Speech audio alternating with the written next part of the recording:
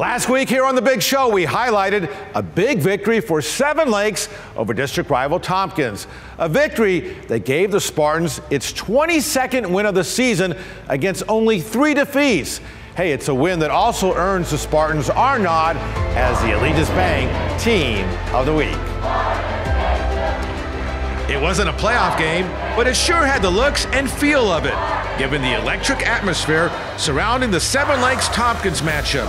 An especially electric evening for the Spartans, who took control early en route to a 69 52 victory over a Tompkins team that had been predicted by most to win the district championship. It was a huge win for us. It's uh, one of our two biggest rivals, Tompkins and Cinco. Those are always special games, and you saw with the atmosphere there, what a special atmosphere. Our crazy showed up in force and, and just made that an incredible night.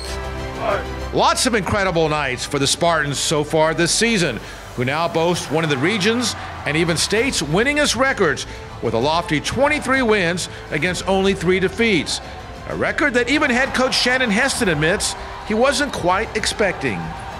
Todd, I'm going to be honest with you, it does. Uh, I knew we were good, and, and, I felt like we could accomplish some really special things this year. But uh, anytime you're uh, sitting with a record like uh, we have right now, you're you're always uh, kind of, as a coach, uh, ecstatic about that and happy for that. And there's loads of happiness to go around for a Spartans team that's clicking on all cylinders.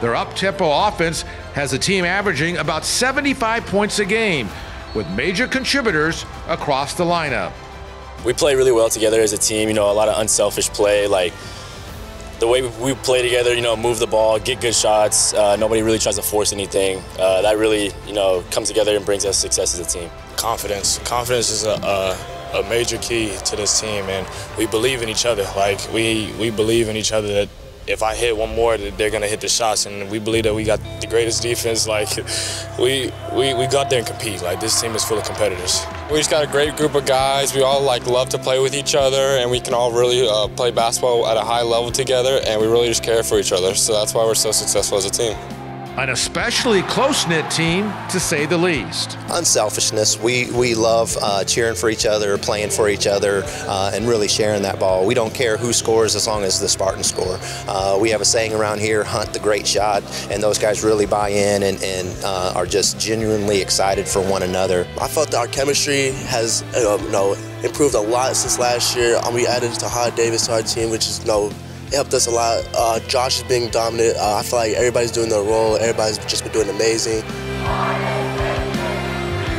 And we are here on campus at Seven Lakes along with the Spartans. I'm joined by Martin Montoya of Allegiance Bank. Coach, congratulations on an incredible season and an incredible winning record. On behalf of Allegiance Bank, I present you Allegiance Bank Team of the Week. Yeah!